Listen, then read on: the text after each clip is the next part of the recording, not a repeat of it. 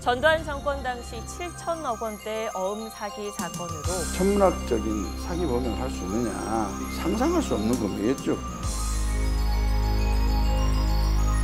근데 먹고 살만한 건 있어요 지금도 사기 치려고 달려든 사람한테 속지 말라는 법 없어요 그 배경에는 어마어마해.